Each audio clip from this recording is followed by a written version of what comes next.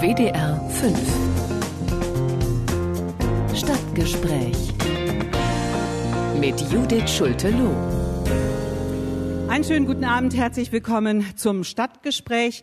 750.000 Hunde gibt es in Nordrhein-Westfalen und jedes Jahr werden es mehr. Hier in Paderborn wird es nicht anders sein als in anderen Städten Nordrhein-Westfalens. Für den einen ist der Hund der beste Freund, treuester Gefährter, sogar Familienmitglied. Für die anderen nur ein kläffender Köter, der nichts lieber tut, als Jogger, Radfahrer oder auch über Postboten herzufallen. Bester Freund oder Plagegeist, das fragen wir heute im Stadtgespräch aus dem Rathaus in Paderborn über das verbissene Verhältnis Hundefreund und Hundefeind. Mit Ihnen diskutieren auf dem Podium Heinz Paus, Bürgermeister von Paderborn, Bianca Hemingway, Hundebesitzerin und Kämpferin für Hundefreilaufflächen, Hubert Schäfers, Forstwirt und Jäger und Simone Sombecki, Moderatorin der WDR-Reihe Tiere suchen ein Zuhause. Herzlich willkommen Ihnen allen.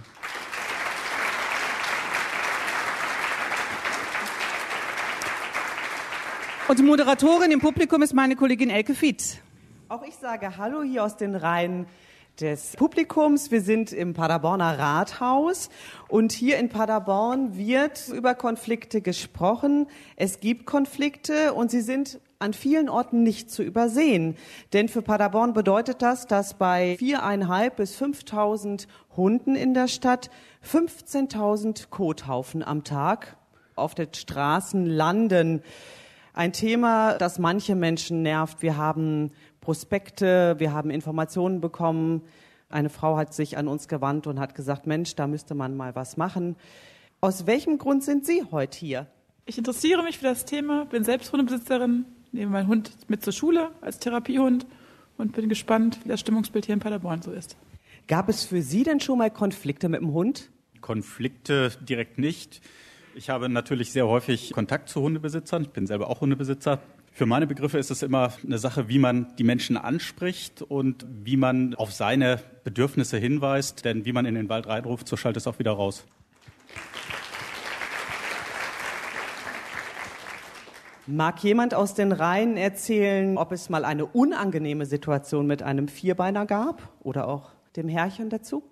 Also ich habe über einige Jahre einen großen Rüden gehabt, der mit anderen Rüden nicht verträglich war. Der ist natürlich angeleint geblieben und ich habe es leider immer wieder erleben müssen, dass Menschen mit Hund, die mir entgegenkamen, die ihren Hund laufen ließen, trotz meiner Bitte, ihren Hund anzuleihen, dem leider nicht nachgekommen sind oder nicht nachkommen konnten und ich mir dadurch regelmäßig Ärger eingefangen habe, weil die meinem Hund vor die Füße liefen und es dann natürlich schon zu der einen oder anderen Auseinandersetzung kam. Sie sind eine mutige Frau. Sie haben nämlich heute Ihren Hund mitgebracht. Was ist der Hund für Sie? Ich lebe seit über 30 Jahren mit eigenen Hunden und sie gehören einfach für, zu meinem Lebensalltag dazu. Also sie schlafen bei mir nicht im Bett, sie begleiten mich nur teilweise zur Arbeit. Ich denke, sie wissen, wo sie hingehören, aber sie sind einfach ein Teil von meinem Leben. Sie bieten mir Plattformen für das Kennenlernen anderer Leute, meine sozialen Kontakte hängen da zum Teil dran aber auch einfach ist es mal ganz nett, wenn abends noch einer vor dem Sofa liegt. Gestern zum Beispiel, ich stehe mit meinem Hund da, er schietert, ich habe die Tüte sichtbar in meiner Hand, äh, kommt einer an mir vorbeigefahren, ihr Hund scheiß, also auf diesen Ton, mhm. scheiß dahin. Ja, ich meine, mehr als die Tüte in der Hand und gleich da reingreifen kann ich nicht.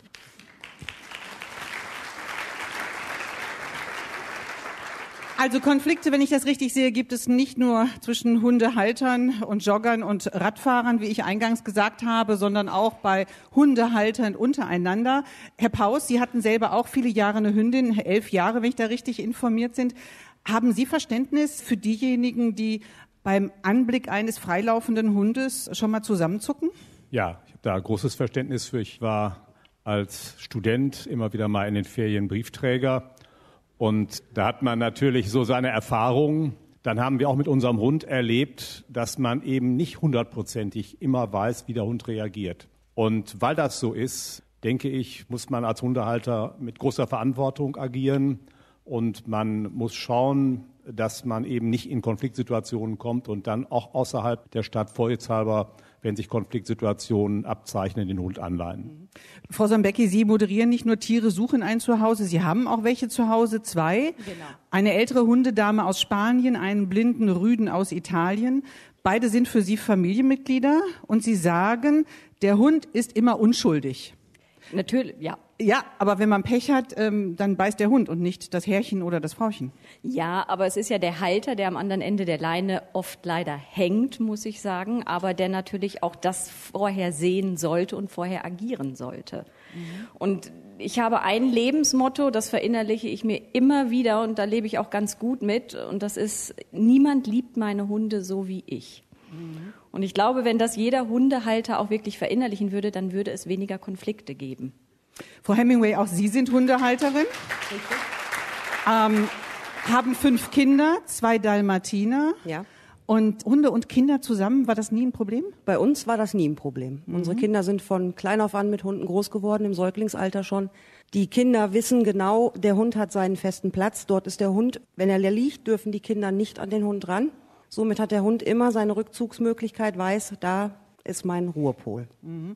Wenn Sie mit den Dalmatinern spazieren gehen, merken Sie schon mal, dass es Menschen gibt, die da einen größeren Bogen drum machen? Es sind große Hunde, ganz klar. Und da ist auch oft dann die Angst der Leute. Mhm. Haben Sie Verständnis für ängstliche Menschen? Wie gehen Sie damit um, wenn Sie sehen, da sind Leute, die haben Angst vor meinen Hunden? Wenn wir spazieren gehen, ist es grundsätzlich so, wenn uns Leute entgegenkommen, wird der Hund angeleint. Mhm. Man hat manchmal das Glück, dass Leute sagen, oh, ist schon in Ordnung, können Sie ruhig frei machen, ich habe keine Angst, aber in der Regel ist es so, die Hunde kommen an die Leine und wir gehen mit den angeleinten Hunden an den Leuten vorbei. Definitiv, Sie sagen nicht, der tut ja nichts. Nein. Das ist ein Satz, mit dem man, Herr Schäfers, wirklich wenig anfangen kann. Sie als, ja, nicht nur Forstwirt, sondern auch Jäger, Sie haben selber natürlich auch einen Hund. Ich habe zwei Terrier, die sind jachtlich ausgebildet und ich möchte jetzt nicht über die Hundehalter erziehen, denn 95 Prozent der Hundehalter sind Top-Leute. Also sagen Sie, die fünf Prozent machen uns Hundehaltern das Leben schwer und das Image der Hundehalter auch ein bisschen in der öffentlichen Wahrnehmung zumindest. Wo alle drunter leiden müssen. Kritisch. Welche Erfahrung haben denn Sie mit Hunden gemacht? Wir haben bestimmte Hunde da oben, die werden, ich sag mal, so mehr oder weniger als Stubenhunde gehalten, die aber von der Rasse her Jagdhunde sind. Und diese Hunde haben definitiv diesen Jagdtrieb. Und da oben ist die B64, die ist circa 300 Meter von diesem Revier entfernt. Und wie schnell ein Reh oder ein Hund laufen kann, wissen wir alle. Und die Unfälle passieren auf dieser B64. Und diese Hundehalter, die nehmen es in Kauf, dass Menschenleben gefährdet wird. Und das muss man klipp und klar so sehen. Es geht nicht nur um die Wildtiere, es geht auch um diese Verkehrsunfälle und das Rehwild oder die Sauen laufen nicht auf die B64, weil sie das schön finden. Die werden drauf gehetzt, definitiv. Moment, wenn Sie sagen, da oben erst nochmal, müssen Sie uns auch allen in Nordrhein-Westfalen sagen, wo da oben ist. Das ist Münkelow, Monte Cerbellino. Mhm, okay, und das ist, ist das eigentlich ein Gebiet, was auch als Freizeitgebiet gilt? Richtig. Mhm. Aber vielleicht haben die Hunde gar keine andere Möglichkeit, hier in der Gegend frei rumzulaufen. Das müsste man Herrn Paus fragen, ob das so möglich ist. Peng, Herr Paus, sind Sie dran. Also in den elf Jahren haben wir nie ein Problem gehabt, mit unserem Hund, dem Hund die erforderliche Bewegung zu verschaffen. Das heißt, man geht mit dem Hund erstmal spazieren, das ist das Übliche, aber sobald Freizeit oder ähnliches ist, dann sind wir mit dem Hund ein Stückchen rausgefahren und da gibt es jede Menge Wirtschaftswege, da ist alles möglich und da kann der Hund laufen und auch freilaufen hin und wieder. Und äh, da haben wir nie das Problem gehabt. Wenn man hier in der Stadt an den unterschiedlichen Stellen Freilaufzonen schaffen würde in einer Großstadt mit 150.000 Einwohnern, mit einer ganzen Reihe von Stadtteilen, dann, ja, ich denke, das ist gar nicht darstellbar, dass wir überall in der Stadt Freilaufzonen extra anlegen seitens der Stadt, sondern ich habe das erlebt, dass eigentlich das Miteinander auch in den Bereichen außerhalb der geschlossenen Ortschaften so ist, dass das geht, dass Hunde laufen können. Ecke. Da regt sich hier im Publikum ein bisschen Widerstand, denn an vielen Stellen ist immer wieder zu hören, Knapp 150.000 Einwohner hat Paderborn, 4.500 gemeldete Hunde, die Dunkelziffer ungefähr 1.000 Hunde drauf. Und es gibt keine einzige Freilauffläche. In den Nachbarstädten gibt es Freilaufflächen. Düsseldorf hat 32 mhm. Flächen, wo Hunde einfach ohne Leine laufen dürfen. Also ich habe in verschiedenen Ländern in meinem Leben gewohnt, in Norwegen, in Simbabwe, in Brüssel. Ich habe in Deutschland in verschiedenen Städten gewohnt. Und bevor ich nach Paderborn gekommen bin, hatte ich mich bei Hundevereinen erkundigt, wie ich das mit meinem Hund machen kann, wo man hier gut mit denen laufen kann, wo ich meine Wohnung finde. Finden kann. Und die Antwort war so schrecklich, dass ich definitiv nicht hierher gezogen wäre, wenn ich nicht schon vorher meinen Arbeitsvertrag unterschrieben hätte, weil mir gesagt wurde, oh, mit Hund, dann kommen Sie besser nicht. Und ich meine, letztendlich kann das ja auch nicht das Ziel von der Stadt und Stadtmarketing sein. Ich meine, ich bin hierher gezogen, ich fühle mich wohl, ich komme mit dem Monte oben bestens zurecht, ich habe eine Wohnung in der Nähe und bin zweimal am Tag da. Aber letztendlich weiß auch ich, es ist nur eine geduldete Fläche. Paderborn hat keine Bielefeld hat drei Stück und da klappt es wunderbar. In den Städten und Kommunen werden die Hunde alleine geführt.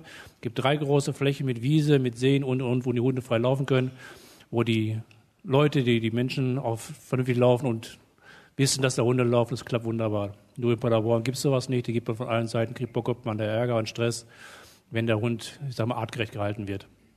Es gibt weitere Konflikte. Mein Mann ist oben auf dem Monte gejoggt und ist von einem großen Hund angesprungen worden. Und die Kleidung war komplett hinüber. Er hat keine Angst, Gott sei Dank, sonst wäre er da oben nicht gelaufen. Da sind ja viele Hunde. Aber es ist einfach ärgerlich. Wie ist denn dann die Hundebesitzerin, der Hundebesitzer, wie sind sie übereingekommen? Sie hat von weitem gerufen, er tut nichts. Das ist ja dann schon mal ganz gut, ne? Wäre sowieso zu spät gewesen. Ja, und das war's dann. Für mich äh, stellt sich folgende Frage. Es gibt Schilder, auf denen steht drauf Anleihenpflicht. Dann wird angeleint. Punkt. Die Stadt Paderborn nimmt Hundesteuer ein dann sollten doch die, die dafür sind, dass es Flächen gibt, äh, wo die Hunde freilaufen sind, dann sollten die doch mal in irgendeiner Form aktiv werden und sagen, okay, dann mieten wir, was weiß ich, zehn Hektar an und machen einen Teich drauf. Wenn ein Hund ein Stück Wild hetzt und das läuft über die Straße, dann ist nicht nur der Hund tot, sondern im Zweifelsfall auch der Mensch. Und alle, die hier als Hobbyhundehalter unterwegs sind, ich führe selbst zwei kleine Münsterländer, die jachtlich ausgebildet sind. Die müssen sich die Frage stellen, was nützt es, wenn ich rufe und mein Hund kommt nicht? Dann halte ich ihn am Strick. Punkt. Herr Paus, warum gibt's zum Beispiel vor dem Monte Cerbolino dieses Schild Anleihenzwang für irgendwelche Hundehalter, die es dann doch nicht tun? Die Viecher rennen da blödsinnig rum. Ich gehe mit dem Schäfer, bin ich unterwegs. Die rennen zwischen die Schafe, die machen alles. So, wie ist Ihre Erfahrung, Hundebesitzer und Nicht-Hundebesitzer? Ja so. Monte Cepolino, alles nur geduldet, Hunde freilaufen, Talle Seen, äh, Habichtsee, Senne, alles nur geduldet. Und wenn man äh, dann das Ordnungsamt auf den Hals gehetzt bekommt, zahlt man eine Strafe, weil der Hund mal frei läuft. Wo soll das hier funktionieren? In den Gemeinden an sich, dass da Leinenzwang ist oder dass da die Hunde an der Leine geführt werden sollen, ist mir verständlich. Das tue ich dann auch überhaupt kein Ding. Aber ich denke, dass es auch teilweise an den Hundehaltern selber liegt. Die Großen müssen diesen Sachkundenachweis führen für große Hunde ab einer Schulterhöhe von 40 Zentimetern. Die kleinen Hundehalter, also mit den kleineren Hunden, brauchen das nicht. Da frage ich mich, wofür? Weil meistens sind es die Kleinen, die käffen und zwicken, aggressiv werden. Die sind nämlich diejenigen, die auch nicht unbedingt wieder an den Hundebesitzer zurückgehen. Die werden gerufen und gerufen und kommen nicht zurück. Die machen keine Ausbildung, die gehen nicht zur Hundeschule. Warum? Auch ist ja ein kleiner Hund, der ist ja niedlich, der darf alles. Die Großen müssen das. Warum? Warum gibt es das nicht für alle? Ich würde jetzt gerne einmal mal kurz auf dem Podium reagieren lassen auf die verschiedenen Aspekte, die von Ihnen jetzt schon angesprochen wurden. Gleich sind Sie wieder dran. Frau Sombecki, die gute Ausbildung für den Hund. Wie wichtig ist das? Bei Tiere suchen ein Zuhause haben Sie ja häufig Tiere und auch Hunde, wo die Hundehalter mit den Tieren ja nicht fertig geworden sind. Das ist eigentlich so bei jedem dritten Tier, das wir zu hören bekommen, wirklich, er wurde abgegeben wegen Überforderung, weil man sich da vielleicht ein Tier in die Familie geholt hat, was für die Familie nicht so geeignet war, dem man nicht gerecht werden konnte aber mal was ganz anderes, was ich hier gerade höre, das ist immer, wenn der Hund nicht hört, dann muss er an den Strick, bin ich, also Strick würde ich jetzt nicht sagen, die Leine, naja, okay.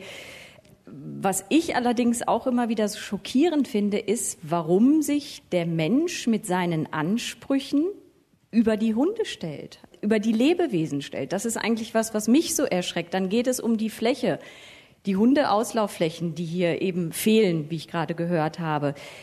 Der Mensch nimmt sich immer mehr Land, beansprucht das mit einer Selbstverständlichkeit, die ich teilweise wirklich selbst als Mensch erschreckend finde. Mit welchem Recht? Ich finde, irgendwann ist auch mal die Zeit, es wurden die Hundesteuern angesprochen, etwas zurückzugeben. Ich weiß, dass die Hundesteuern auch umverteilt werden, auch für andere gemeinnützige Zwecke. Das ist auch schön und gut, aber trotzdem müsste auch irgendwas an die Hundehalter wieder zurückgegeben werden.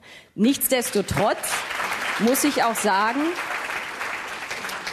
Es ist wichtig, dass ein Hund hört. Und es wurde auch angesprochen, die großen Hunde, die kleinen Hunde, sowohl als auch. Natürlich ist ein großer Hund, wenn der auf einen zugelaufen kommt, viel angsteinflößender als jetzt ein kleiner, der vielleicht genau das Gleiche macht. Und ich glaube, da liegt einfach der Unterschied. Bei einem kleinen Hund lacht man noch über manche Sachen vielleicht, wenn er irgendwie zwackend im Fuß hängt man lacht noch drüber, schiebt ihn noch weg. Bei einem Großen würde man das nicht mehr lustig finden. Ich weiß, Niedersachsen hat den Hundeführerschein eingeführt. In der Umsetzung, ja, vielleicht hakt es noch ein bisschen, aber vom Sinn her ist er gar nicht mal so schlecht. Herr Schäfers, was denken Sie, wie gut kennen die Hundehalter ihren Hund? Ich glaube, dass zu 75 Prozent die Hundehalter kennen ihre Hunde. Das sind schon Und weniger die, als 95 ja, ja, Prozent, Moment, was Sie vorhin ich, gesagt mein, haben. Mein ruhig. Das, es geht darum, die Leute, die ihren Hund an der Leine führen, die wissen, was dieser Hund fabrizieren kann. Und wir haben das gehabt, dass ein Irischsetter ein Stück Rehwild gerissen hat, also bei lebendigem Leibe von hinten mehr oder weniger aufgefressen hat. Und das Härchen da drauf gelegen hat es festgehalten, bis das dann endlich, es kamen Passanten dabei, es, Polizei, bis das endlich ein Jäger, der hingehen konnte und konnte dieses Stück abfangen. Mhm. So. Und dieser Hund, diese, diese Leute haben wir mehrmals darauf angesprochen. Nehmt euren Hund an die Leine. Er hetzt das Wild. Und es ist wirklich oben an der B64, aber nichtsdestotrotz, nehmt bitte diesen Hund an die Leine. Nee, unser Hund hört. Wie gesagt, der hat das Stück Rehwild gerissen und keine paar Tage später derselbe Hund mit denselben Haltern, dasselbe Schauspiel in Grün weiter hinterm Rehwild her. Ja, Was Moment, warum man? hat das keine Konsequenzen? Wenn ein Hund hingeht und ein Reh reißt, ja. ähm, dann kann man doch nicht einfach machen, weiter so wie bisher. Das müssen Sie mich nicht fragen, das ist Sache des Ordnungsamtes und nicht von uns Herr Jägern. Paus, Sie sind Bürgermeister hier und müssen da eigentlich mal einschreiten. Nee, das wenn wir jetzt mal ganz ernsthaft. Bei so einem Fall, wenn klar ist, hier verhält sich ein Hund und ein Hundehalter, wie das eigentlich nicht sein soll und nicht sein darf, dass ein Reh gerissen wird, was für Möglichkeiten gibt es dann darauf zu reagieren, auch dann von Seiten der Stadt, von Seiten des Ordnungsamtes, um da einzuschreiten? Also vom Grundsatz her, ich kenne den Sachverhalt jetzt nicht, er ist uns noch nicht bekannt. Äh, wenn Sie uns den nennen, dann kann man darauf reagieren. Dann muss man zur Not sogar die Eigenschaft dieses Menschen als Hundehalter zu sein, ja letztlich in Frage stellen und muss ihm möglicherweise den Hund abnehmen, wenn das so ist.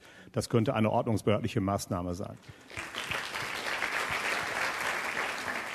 Ist ja die Diskussion jetzt mehrfach gewesen, Warum bei großen Hunden, warum bei kleinen Hunden Ich glaube, das haben Sie schon beantwortet, weil einfach das größere Tier auch letztlich das Tier ist, von dem die größeren Gefahren am Ende ausgehen. Das ist sicherlich eine Systematisierung. Das ist sicherlich, kann, gilt nicht für den Einzelfall. Ein gut ausgebildeter großer Hund sicherlich anders als ein nicht ausgebildeter kleiner Hund. Das will ich alles nicht bestreiten. Aber ab einer bestimmten Größe ist die Gefahr einfach ein Stück größer, wird sie auch von Menschen, die keine Hundehalter sind, so gesehen. Zu den Freilaufflächen generell zu dem Thema, wie wir mit Hunden in Paderborn umgehen. Wir setzen darauf, dass wir Regeln haben, dass wir einschreiten können, wenn also die Verunreinigung in der Fußgängerzone passiert, dass wir einschreiten, wenn der Leinenzwang nicht eingehalten wird, aber dass wir nicht ständig Mitarbeiter des Ordnungsamtes hinter jedem Hundehalter hinterher schicken und gucken, ob der das alles richtig macht, sondern wir haben die Regeln, aber wir haben jetzt keinen Riesenertrag daraus, dass wir im Laufe eines Jahres extrem viel Geld über Bußgelder einnehmen, sondern wir reagieren dann, wenn wir von solchen Sachverhalten hören. Ich denke, wir sollten uns da nachher drüber, kurz mal drüber unterhalten. Dann setzen wir die Regeln im Einzelfall durch und wir setzen darauf, und das funktioniert eigentlich auch, dass Sie haben gesagt, 95 Prozent, dass ganz, ganz viele Hundehalter sehr bewusst und verantwortungsbewusst sind und dass wir deshalb nicht einschreiten müssen. Also die Regel heißt, wir setzen auf die Verantwortlichkeit der Menschen und äh, haben die Regeln für den Fall, dass jemand sich tatsächlich überhaupt nicht dran hält und auch nicht bereit ist, sich dauerhaft dran zu halten. Sagt der Bürgermeister, was sagen Sie im Publikum, Elke?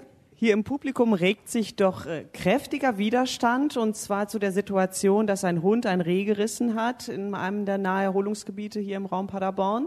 Ja, also ich habe einen Hund und bin zweimal am Tag oben am Monte mit meinem Hund und kann ganz sicher sagen, dass das ein absoluter Ausnahmefall ist. Und für diejenigen, die jetzt keinen Hund haben, das ist schon, um sich das vorzustellen, das ist natürlich schon deswegen Ausnahmefall, weil jeder Hundebesitzer aus reinem Selbstinteresse schon aufpassen wird, dass deswegen sein Hund nicht jagen geht, weil ein jagender Hund einmal in den Wald geht und dann weg ist.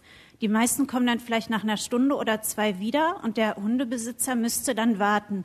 Also ein normaler Mensch, der jetzt total unverantwortlich ist, würde schon allein aus dem Grund, dass er ja selber auch den Hund nicht zurückkriegt, wenn er nach Hause will, deswegen schon mit einem wildernden Hund nicht ohne Leine spazieren gehen. Aber es herrscht Leinenzwang in diesem Naherholungsgebiet, von dem Sie gerade reden. Und dort müssen sich die Hundebesitzer mit den Joggern, mit den Kinderwagen schiebenden Familien, mit den Laufradfahrenden Kindern die Fläche teilen. Oder sehe ich das falsch? Das ist so. Aber ich fand das eben ganz witzig zu diesem, was der Herr da hinten gesagt hat, mit den Jagdhunden. Da fällt mir die Szene ein, dass am Monte ganz oft der Jäger mit dem Auto hinter seinen Hunden herläuft und ständig seinen Hund ruft. Das ist jetzt so ein bisschen eine Anekdote, ja. Wir bewegen uns hier in einem Naherholungsgebiet. Es gibt, glaube ich, mehr Probleme und es gibt mehr Naherholungsgebiete im Raum Paderborn. Wie sieht's bei Ihnen aus? Kennen Sie Konflikte? Es gibt faktisch keine Möglichkeit, den Hund frei laufen zu lassen.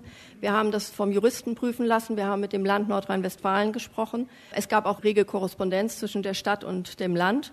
Das Ganze ist problematisiert worden in Verbindung mit dem Landeshundegesetz. 2003 hat daraufhin die Stadt Paderborn eine entsprechende ordnungsbehördliche Verordnung, wo das geregelt ist, initiiert. Fakt ist, dass es Naherholungsgebiete auch umfasst. Und dadurch, dass wir über Landschaftsschutzgebiete reden müssen, über Naturschutzgebiete, über Forst, über alles Mögliche, Vogelschutzgebiete, ist faktisch hier keine Möglichkeit, einen Freilauf zu gewährleisten. Das wiederum verstößt gegen die Bundesordnung für Hundehaltung, verstößt gegen das Tierschutzgesetz und ähnliches. Es ist nicht normal, dass man als Hundebesitzer immer nur das Gefühl der Duldung hat ich würde gerne ähm, auf diese Hundefreilauffläche eingehen, Frau Hemingway, weil ich weiß, dass Ihnen gerade dieses Thema Hundefreilauffläche sehr am Herzen ist. Warum ist es für Hundehalter wichtig, dass es diese Freilauffläche gibt? Die Freilauffläche ist für den Hund verdammt wichtig, damit er seine Sozialkontakte pflegen kann, damit er frei toben kann mit anderen Hunden, auch mal mit einer ganzen Gruppe von Hunden. Bei uns in Hasewinkel, wir wohnen ganz ländlich, ist auch Leinenzwang. Die Stadt sagt immer, ihr könnt doch außerhalb gehen, ist doch genug grün. Gut, wir gehen außerhalb und hat überall Ärger. Es kommt der Jogger, es kommt der Radfahrer, es kommt der Jäger, es kommt der Forstwirt. Also es gibt nicht eine Stelle, wo wir die Hunde einfach mal laufen und toben lassen können. Toben heißt nicht, dass er bei mir bei Fuß laufen muss, weil er ohne Leine ist oder sich nur fünf Meter von mir entfernen darf. Toben heißt auch mal Gas geben und eine richtige Ecke rennen ist nicht machbar, weil irgendwer fühlt sich gestört. Deshalb finde ich es ganz wichtig, dass die Stadt den Hundehaltern eine Fläche zur Verfügung stellt mit einem Zaun drumherum, wo sich diese Hunde frei bewegen dürfen, toben dürfen, spielen dürfen.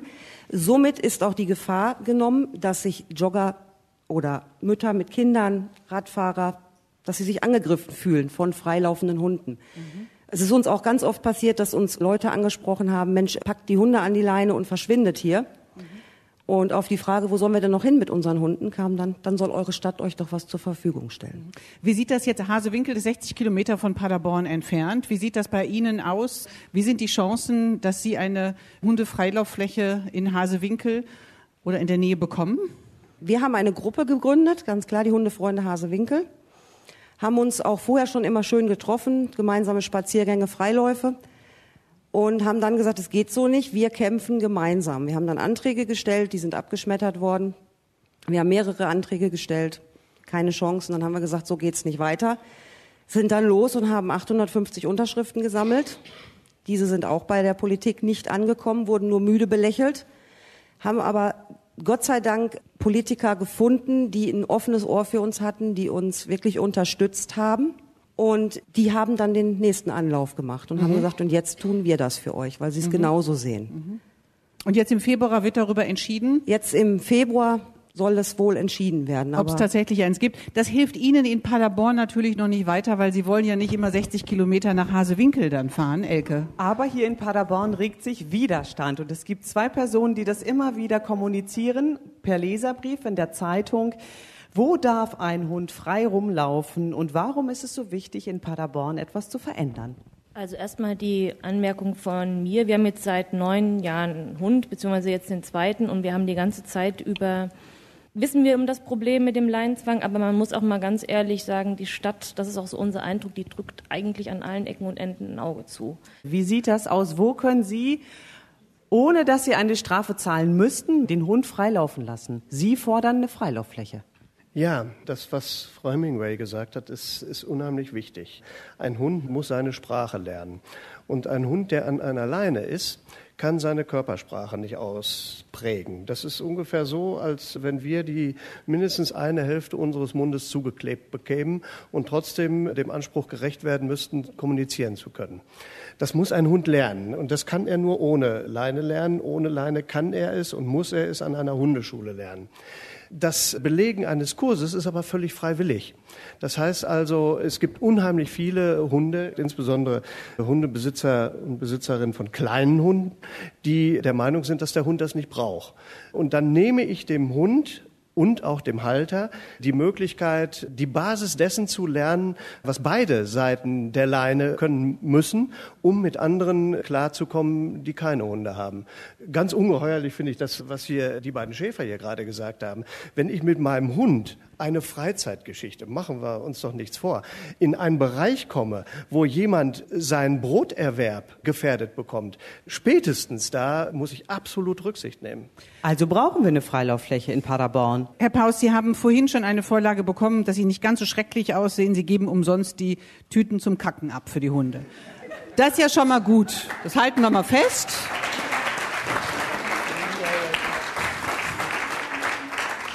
Damit haben wir aber noch nicht die Freilaufflächen. Wie wir von Frau Hemingway und von Ihnen aus dem Publikum jetzt auch gehört haben, wie wichtig ist es? Inwiefern haben Sie sich damit schon beschäftigt? Wir haben uns mehrfach damit beschäftigt. Das Ergebnis ist, dass wir solche Flächen einmal bei den Hundevereinen haben. Natürlich möchte nicht jeder Mitglied des Hundevereins sein, aber da ist die Möglichkeit. Wir haben mehrere gute Hundevereine. Das Zweite ist, das ist ja in mehreren Anmerkungen gerade auch deutlich geworden, wir setzen auf das Miteinander. Das heißt, wir haben nicht das gesamte Stadtgebiet mit Leinenzwang ausgestattet. Das können Sie in Ruhe nachlesen, das ist zumindest mein Verständnis der Verordnung, die wir haben. Und wenn man außerhalb der Ortslage in Anführungszeichen ist und außerhalb bestimmter Bereiche, die hier auch noch genannt sind, dann besteht die Möglichkeit, den Hund laufen zu lassen, wenn man nicht einen Jachthund hat und gleichzeitig dann gegen Regeln äh, der Yacht verstößt oder ähnliches. Also das ist, wir sind der Meinung nach längerer Abwägung, dass wir keine Hundefreiflächen speziell ausweisen müssten. Wir Herr Paus, nicht, wenn ich da noch mal einmal als Anwältin der Teilnehmer hier da sein dürfte, weil Sie merken ja ganz einfach, dass von den Hundehaltern, die hier sind, doch Hundefreilaufflächen ganz klar gefordert werden.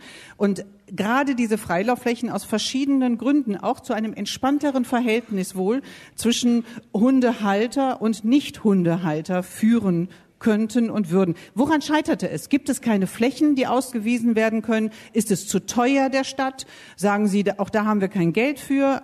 An welcher Stelle ist es gescheitert? Ich meine nein, nein, nein, nein. Wir haben faktische Freilaufflächen für Hunde, indem wir schlicht und ergreifend davon ausgehen, dass die Hundehalter das in der freien Landschaft selber regeln können. Okay, das Weil heißt, wo ist das? Nein, das, das müssen Sie uns jetzt mal kurz sagen. Wo ist das? Wo ist das tatsächlich möglich? Also wo ist das tatsächlich möglich, dass die Hunde hier in Paderborn frei laufen können? Wo sind wir spazieren gegangen?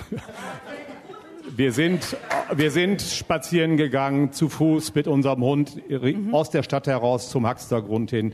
Wir mhm. sind in anderen Bereichen spazieren gegangen da war das möglich. Also es ist doch nicht so, als wenn Paderborn überall Ortslage hat, als wenn Paderborn überall dichten Wald hätte, wo ich keinen Hund laufen lassen kann. Also bei aller Liebe, das Problem haben wir so extrem nicht gehabt, wie das hier jetzt geschildert wird. Sonst wäre ja Hundehaltung in Paderborn überhaupt nicht möglich, wenn das, was hier geschildert ist, tatsächlich Realität wäre. Und wir haben Hundevereine, in denen man auch den Hund ausbilden kann und ausbilden darf. Also ich denke nicht, dass wir nach, nochmal, wir haben das lange abgewogen und sind zum Ergebnis gekommen, wir brauchen keine, in Paderborn keine speziell ausgewiesenen Hundefreiflächen. Frau Hemingway. Sie zuerst dazu und Frau Sobecki sitzt auch schon auf der Kante.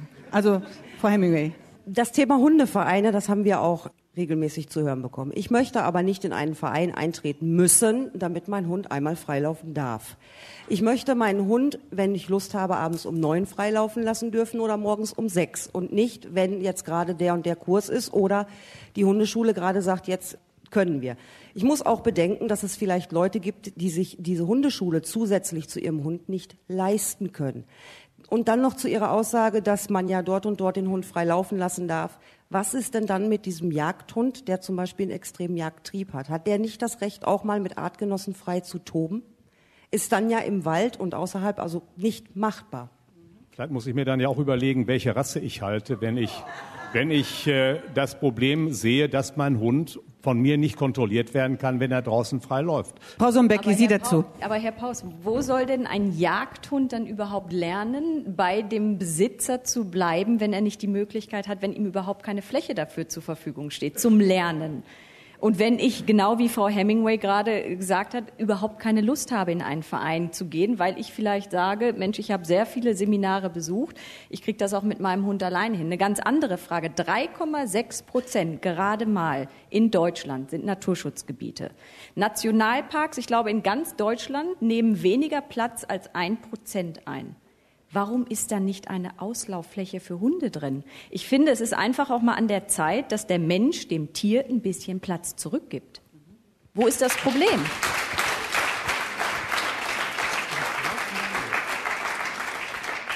Es geht doch schlicht darum, dass es um den Hundebesitzer mit seinem Hund geht. Ja, aber er muss doch die Möglichkeit haben, mit dem nicht, Hund zu Es geht doch trainieren. nicht darum, dem Tier, das irgendwo in der freien Wildbahn unterwegs ist, eine Fläche zu geben, sondern dem Hundebesitzer für sein Tier, das er als Hobby gerne hält. Darum geht es. Sie können jetzt nicht äh, Tier gegen Mensch ausspielen. Das passt nicht, sondern es sind die Interessen des Hundebesitzers, der mit seinem Hund gerne unterwegs sein möchte, seinen Sport, seinen Hundesport, seine Liebhaberei haben möchte.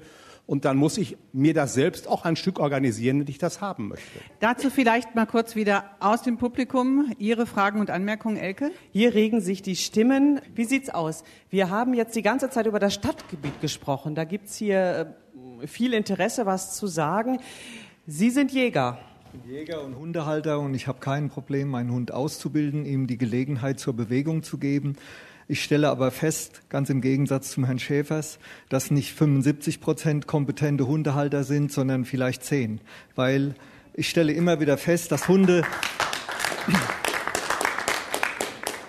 Hunde angeleint oder den öffentlichen Regeln unterzogen, sind kein Schutz vor Kollisionen, weil der Bürger, der sich einen Hund kauft, geht wie in vielen anderen Dingen so vor, dass er sich erst den Hund kauft und sich dann über die Probleme Gedanken macht, die damit entstehen. Wenn ich mich, wenn ich mich vorher sachkundig mache und mir überlege, was schaffe ich mir für einen Hund an, dann habe ich vielleicht mit Hilfe von Leuten, die damit schon Erfahrung haben und mit der entsprechenden Literatur die Möglichkeit, meinen Hund so zu trainieren, dass er ein ausgeglichenes Leben führen kann und ohne, dass er die Gesellschaft nachhaltig stört. Ich gehe mit meinem Hund auf Freiflächen in der Landschaft rund um Paderborn spazieren. Ich lasse ihn frei laufen. Ich stelle, wenn Leute mir entgegenkommen, zu Fuß, per Fahrrad, als Jogger, ich stelle eine sichere Situation für die Leute her, indem ich meinen Hund in eine ruhige Stellung bringe durch einen Befehl. Dazu brauche ich keine Leine. Und der Hund tut das und die Leute signalisieren, aha, die Lage ist in Ordnung, weil ich möchte keine alte Frau vom Fahrrad holen und ich möchte auch nicht, dass mein Hund irgendwo an einer Hauswand oder einen Zaun pinkelt. Der Hund kann sich erst lösen, wenn wir in einem Gelände sind, wo diese Fäkalien keinen Schaden anrichten. Das kann man jedem Hund beibringen. Ich stelle bei uns im Wohnviertel fest, dass Leute, die nach außen hin einen piekfeinen Eindruck machen, sobald sie mit ihrem Hund an der Leine dieses Viertel äh, bewandern oder begehen, der pinkelt an jeden Zaun, an jede Tür. Der nächste Hund nimmt diese, nimmt diese Geruchspositionen auf und tut das Gleiche. Und Wege, die von Schulkindern und Leuten im Alltag benutzt werden, werden jeden Tag vollgeschissen. Nachdem die Stadtreinigung da war, hat's weggefegt. Die Tüten zur Entsorgung hat die Stadt wohlwollend herausgegeben, aber bei der Entsorgung der Tüten bleibt bei vielen Hundehaltern alles im Argen. Die liegen nämlich irgendwo gefüllt in der Landschaft und warten darauf, dass sich ein erbarmungsvoller Mensch findet, der das entsorgt. Das war jetzt ein Rundumschlag. Aber an dieser Stelle wüsste ich gern von Ihnen, wo darf der Hund im Wald wie frei laufen? Wir haben ein allgemeines Betretungsrecht des Waldes. Das heißt, wenn ich mich auf Waldwegen bewege, kann ich den Hund freilaufen lassen. Sobald ich in geschlossene Waldgebiete gehe, muss der Hund angeleint sein. Aber dennoch ist es doch ein Problem. Nicht jeder besitzt ein Auto, nicht jeder kann eben schnell in den Wald fahren. Ich muss noch ein paar Meinungen hier einholen. Ich glaube, dass das ein Problem ist, was beide Seiten betrifft. Es ist deutlich einfacher, wenn man sich ganz klar vorher Gedanken macht, was für eine Rasse lege ich mir zu. Da gebe ich dem Herrn vor mir recht.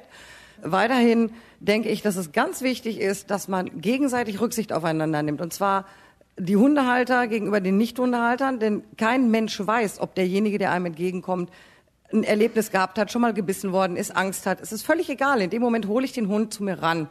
Auf der anderen Seite sehe ich auch ganz klar das Giftproblem, was verstärkt bei uns in der Ecke aufgetreten ist, als Ursache dafür, dass die Hundehaufen nicht weggemacht werden. Wir können nicht davon ausgehen, dass jeder Mensch Hundeliebhaber ist. Aber jeder Mensch benutzt unsere Gehwege. Auf der anderen Seite, finde ich, muss auch die Stadt was tun. Wir reden hier von Nahschutz, äh, Naherholungsgebieten. Gehe ich da mit dem Hund spazieren, habe ich eine Anleihenpflicht, überhaupt gar kein Problem. Ich mache die Scheiße weg. Und was finde ich nicht? Mülleimer. Und zwar bis, und zwar bis zur Maria hinten lang durch den Haxter Grund. Und dann gibt es Hundehalter, die sagen, ja, Moment mal, packe ich denn jetzt meine Tüte mit der Hundescheiße drei Kilometer bei mir in die Jackentasche, bevor ich sie wegschmeißen kann? Nein. Und wenn man mal genau guckt, findet man entweder nicht weggemachte Hundescheiße oder aber entsorgte Beutel, weil kein Mülleimer vorhanden ist. Das ist aber ein schönes, handfestes Problem. Also wenn ich in einem Waldgebiet spazieren gehe, und auf dem Waldweg aufsammle, dann werde ich ihn leider ein Stück tragen müssen. Ich werde nicht alle Wald- und Freizeitgebiete in Paderborn mit Müllsäcken ausstatten. Und im Stadtgebiet gibt es reichlich alle 50 bis 100 Meter die Möglichkeit, einen solchen Müllbeutel zu entsorgen. Wenn es irgendwo Defizite gibt, bin ich gerne bereit, mich darum zu kümmern. Lippesee, Fischteiche, Sie haben auch gerade abgewunken. Warum das? Ja, es könnte sein, dass das eine längere äh, Liste wenig, wird, Herr Paus. Allein am Monte oben, was da ein Hund spazieren geht und die Hundeführer da oben. Also, dass da manche die Hunde laufen lassen. In manchen Gebieten gehen wir da gar nicht mehr gerne rein, weil da so viel Hundekot liegt, dass ich mich davor ekel, einfach mit meinen Hunden da spazieren zu gehen. Und Sie haben noch einen eigenen Hund. Was machen da erst die Radfahrer, Wanderer und Jogger?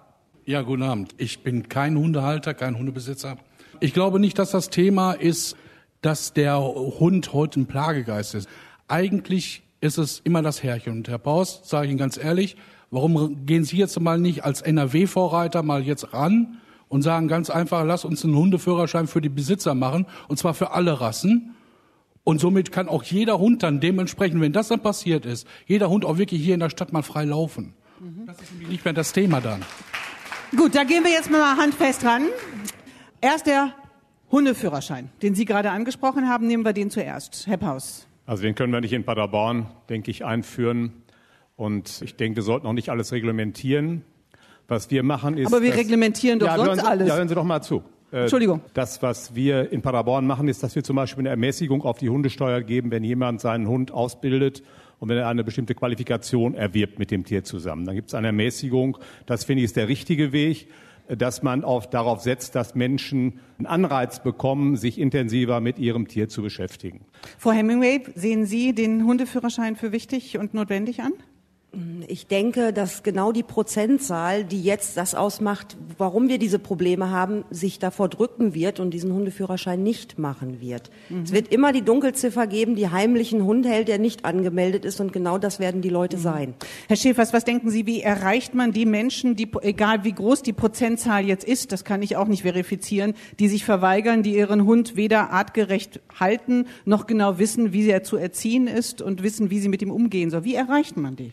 Ich glaube, wenn die Hundeführer, die wirklich top drauf sind und sprechen diese Leute gezielt an, immer wieder darauf ansprechen, das fruchtet am meisten. Frau Sombecki? Es war ja auch ganz äh, zu Anfang, da hatte ja auch ähm, jemand hier im Saal gesagt, ähm, so wie man es in den Wald hineinruft, so schallt es auch wieder heraus. Und ich glaube, da muss ich Herrn Schäfers recht geben, als Hundehalter auch selbst, wenn man sieht, dass irgendwo bei einem anderen Hundehalter es gerade nicht so klappt in der Mensch-Hund-Kommunikation, dass man da vielleicht mal irgendwie unter die Arme greift. Frau Sombecki, wenn Sie mit Tiere suchen ein Zuhause, auch mit Hundehaltern zusammenkommen oder auch mit ihnen sprechen, wie stark setzen sich Menschen, die einen Hund haben wollen, damit auseinander, was es tatsächlich für ein Hund ist und was ein Hund für Arbeit bedeutet und tatsächlich für sich kümmern und machen? Also die Leute leider oft zu wenig. Aber es gibt Tierschutzvereine, Tierheime, die wirklich eine super Arbeit leisten, die dann natürlich auch Vorkontrollen machen, ob der Hund überhaupt in die Familie passt. Ist es überhaupt möglich, den Hund artgerecht dort zu halten? Aber ich glaube, das Problem ist eben, dass es heutzutage im Zeitalter des Internets eben nicht die Tiervermittlung nur über Tierheime und Tierschutzvereine gibt, sondern einfach, dass sich wirklich jeder jeden Hund irgendwo im Internet besorgen kann. Und das ist ja auch immer ein Aspekt, den wir bei Tiere suchen ein Zuhause ganz oft ansprechen, eben die Aufklärung. Dass es eben, wie die Dame auch zuvor meinte, nicht die schönen blauen Husky-Augen sind, die einen da faszinieren sollte, sondern diese schönen blauen Husky-Augen, die werden auch irgendwann mal groß und haben ihre Ansprüche. Darüber hinaus, Herr Schäfers, vermenschlichen viele Menschen den Hund auch. Also wenn ich ins Internet mal gucke, was es heutzutage für Hunde schon alles gibt. Da gibt es die Massage für den Hund, es gibt den Friseur, es gibt die selbstgemachten, gebastelten Schüchen für den Hund, es gibt Schmuck für den Hund. Also man glaubt gar nicht, was es alles für den Hund gibt. Also der Hund kann ein Seepferdchen machen, also äh, wo man sich denkt, hallo Freunde, wo sind wir denn eigentlich? Ist da eine Tendenz? Wie beurteilen Sie das, wenn Sie schauen, was der Hund ist ein Wirtschaftsfaktor, was tatsächlich da passiert? Ich finde das teilweise nur lächerlich. Ich kann mich nur kringelig lachen über sowas, wenn ich sowas sehe mit diesem Jäckchen und Schleifchen im Haar. Irgendwo, der Hund ist ein Tier und er sollte auch Tier bleiben. Wie kriegt man eine solche Entwicklung wieder besser in den Griff? Was glauben Sie? Hundeartig denken? Ja, und wie gesagt, viele Leute, die haben definitiv keine Ahnung. Die, die schaffen sich einen Jagdhund an und sagen, der ist aber süß als Welpe. Nur, dass der irgendwann mit zwei Jahren voll ausgebildet sein muss. Der hat das in den Genen drin, dass er jagt. Und die sagen, das ist ein feiner Hund. Das geht in meinen Kopf nicht rein. Die wissen gar nicht, was für eine tickende Zeitbombe die in der Hand haben. Wir haben den Titel ja relativ bewusst gewählt. Bester Freund oder Plagegeist. Es wurde gerade applaudiert, sehr geschmunzelt, als Judith Schulteloh gesagt hat, was es alles für den Hund gibt. Kosmetiksalon, Friseur, Schüchen, Puschen, äh, Oberteile, Unterteile. Wir haben gestern in der Lokalzeit nachgefragt, wie sieht das aus? Bester Freund oder Plagegeist? Und meine Kollegin, die das Ganze erfragt hat, Anna Steinhagen, hat uns das Ergebnis heute mal mitgebracht. Wie sieht's denn aus? Wie war denn da die Umfrage?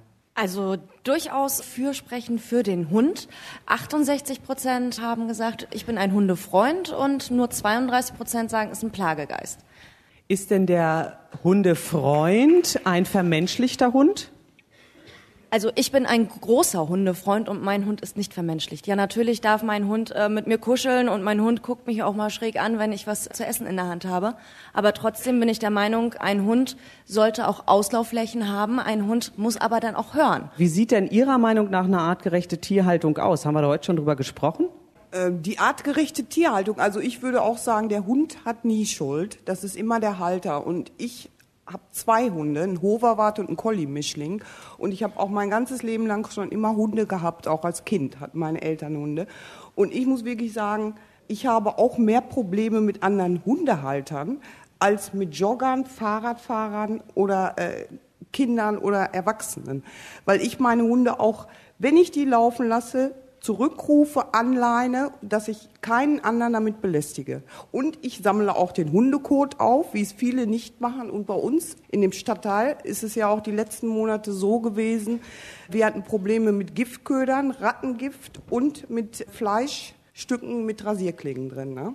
Und ich möchte halt nicht, dass einer meiner Hunde mit sowas vergiftet wird. Ne?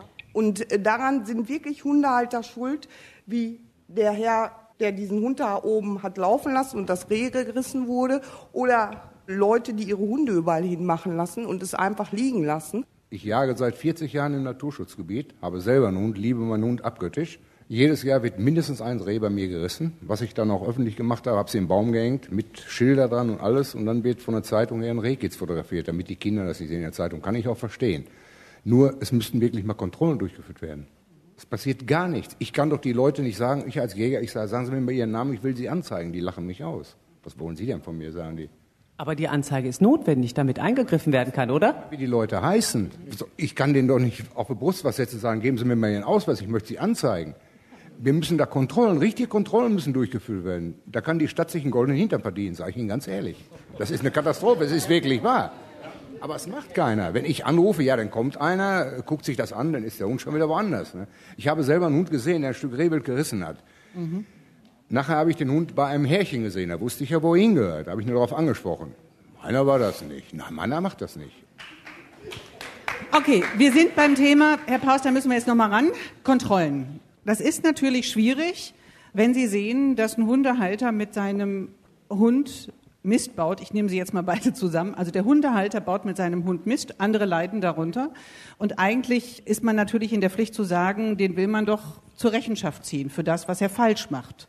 Ich als normaler Spaziergänger, der da belästigt werde, oder der ich in der Region da wohne, ich komme nicht so ohne weiteres an den dran. Also Kontrollen notwendig. Wir sind der Meinung, wir haben unsere Regeln. Wir müssen aber nicht ständig mit dem Ordnungsamt schauen, hinter jedem Hund her zu sein, hinter jedem Hundebesitzer, um zu schauen, ob die Regeln auch eingehalten werden, sondern wir reagieren anlassbezogen, wenn wir verstärkt hören, da gibt es Riesenprobleme, dann machen wir gezielt Kontrollen und versuchen dann auch denjenigen zur Rechenschaft zu ziehen, der diese Probleme macht. Aber vom Grundsatz her gehen wir davon aus, dass die Bürger das untereinander im Einvernehmen regeln, lösen. Und wir setzen also nicht irgendwo Streifen bewusst an, um Hundebesitzern hinterherzugehen, ob die alles auch richtig machen. Das ist einfach ein Extrem. Das geht nicht. Das wäre auch gar nicht leistbar. Frau Sombecki. Ich glaube, ganz wichtig ist auch einfach mal den Aspekt zu sehen, Respekt und Toleranz von beiden Seiten her, ob jetzt Hundebesitzer oder Nicht-Hundebesitzer. Und eins muss ich auch ganz klar sagen, weil das jetzt hier so sehr viel ums Koten geht. Nur weil ich Hundebesitzer bin, heißt das nicht, dass ich es toll finde, wenn ich in einen Hundehaufen trete. Ich finde es genauso schrecklich wie auch ein Nicht-Hundehalter. Vielleicht darf ich dazu noch sagen, dass wir insgesamt in der Stadt da ganz ordentliche Verhältnisse haben. Ähm, ich denke, dass es schon schlimmere Zeiten gegeben hat in der Paderborner Fußgängerzone, auch im Paderquellgebiet. Also das ist eher erträglich. Ich achte besonders darauf, seitdem wir einen Hund hatten und seitdem wir uns auch um spezielle Regeln kümmern. Also ich denke, da ist Paderborn doch eine ganz saubere Stadt, auch was das angeht. Wie kann man, wie kann man vielleicht auch noch mal, wenn man auf beide Seiten schaut. Also wir haben über den Hundehalter jetzt schon mal gesprochen und auch was da zum Teil schief läuft. Also was artgerecht eigentlich heißt und was manche offensichtlich nicht wissen, was artgerecht heißt. Auf der anderen Seite diejenigen, die spazieren gehen, mit dem Fahrrad fahren, joggen ähm, und vielleicht nicht so gute Erfahrung haben durch Begegnungen, die haben Angst. Die Frage ist, was kann vielleicht auch der Nicht-Hundebesitzer anders machen? Denn wir erleben ja auch, dass Hundehalter einfach auch mal, nur weil sie einen Hund haben, relativ kräftig angepöbelt werden. Warum gehen Sie denn hier mit diesem Hund lang? Muss das unbedingt sein? Also braucht man auch noch für diejenigen, wie sollen die sich verhalten, die die keinen Hund haben, muss man, müssen beide Seiten zusammen lernen. Wir gehen alle zum Psychologen. Gleich ungefähr nach den Stadtgesprächen auf WDR 5 lade ich Sie alle ein. Ich glaube, das ist nicht die Lösung, aber die Frage ist, es ist ja ein gemeinsames Problem. Wie kriegt man das einfach hin? Frau Sombecki.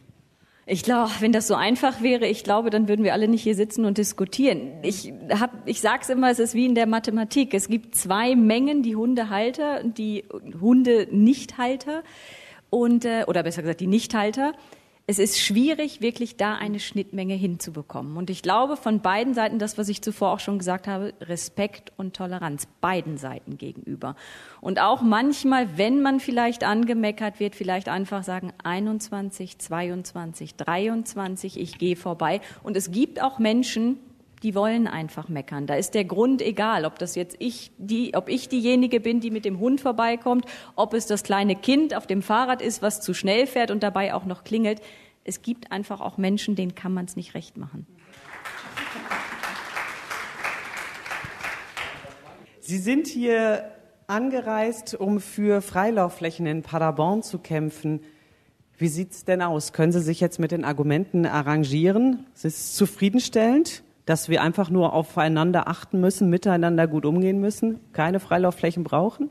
Also was Frau Sombecki schon zweimal gesagt hat, möchte ich nochmal wiederholen. Wenn beide Seiten mit Toleranz, mit Rücksichtnahme, mit Einfühlungsvermögen miteinander umgehen würden, dann hätten wir kein verbissenes Verhältnis. Und wenn diese Verbissenheit dazu führt, dass Giftköder ausgelegt werden, was perfideres gibt's ja gar nicht, da frage ich mich schon, wo kommt so viel Hass her? Bei Einzelnen, bei, bei wenigen. Und das, was Frau Sombecki gesagt hat, ist das andere Ende der Fahnenstange. Wenn das, was erzielt werden müsste, dass mit Rücksichtnahme, mit Toleranz, auch mit Gleichmut und Geduld ja, miteinander umgegangen würde, das wäre mir viel, viel wichtiger als Freilaufflächen. Nichtsdestotrotz, äh, äh, Aber das ist doch, das ist doch ein Wunsch. Die Realität sieht doch anders aus. Das Miteinander ist doch nicht so freundlich. Brauchen wir jetzt Freilaufflächen in Paderborn? Sind ja. Sie jetzt weitergekommen in der Diskussion?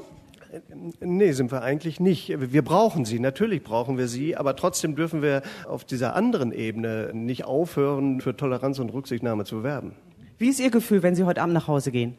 Mein Gefühl ist, dass ich Frau Sombecki zustimmen möchte, weil ich das auch immer erlebe, wenn man offen und freundlich, ob Hundebesitzer oder kein Hundebesitzer, aufeinander zugeht. Das können auch zwei Leute, die keine Hunde besitzen, sein. Aufeinander zugeht, ein Auge für den anderen hat, ein Herz für den anderen hat und ein freundliches Lächeln für den anderen hat, dann ist alles viel leichter.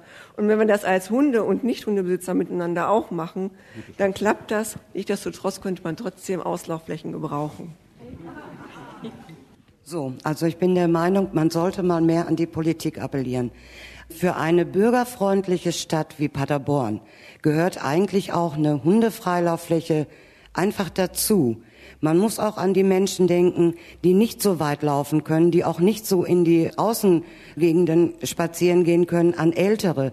Und ich denke, da wäre das auch ein sozialer Aspekt und auch bürgerfreundlich, wenn man in Stadtnähe eine Freilauffläche für Hunde hätte und Hunde, die freilaufen mit ihren Besitzern auf einer Wiese, die erziehen sich sogar selber zur Sauberkeit.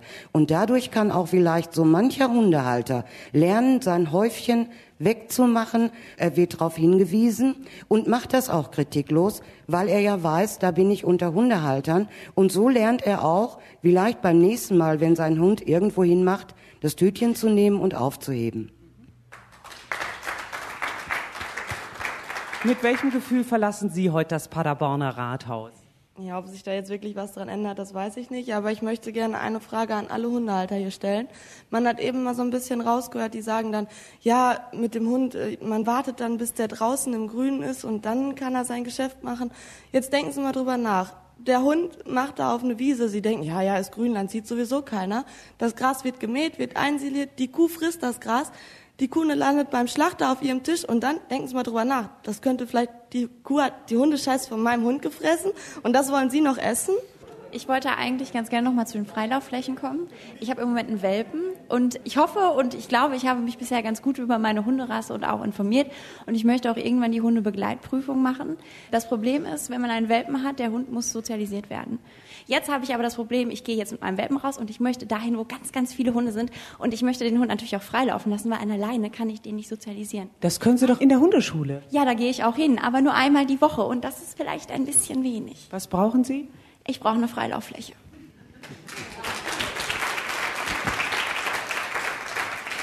Wir fassen zusammen, Hunde-Freilauffläche wird ein Thema bleiben. Bianca Hemingway streitet eh dafür und wird sie vielleicht in Hasewinkel, 60 Kilometer von Paderborn entfernt, bald haben.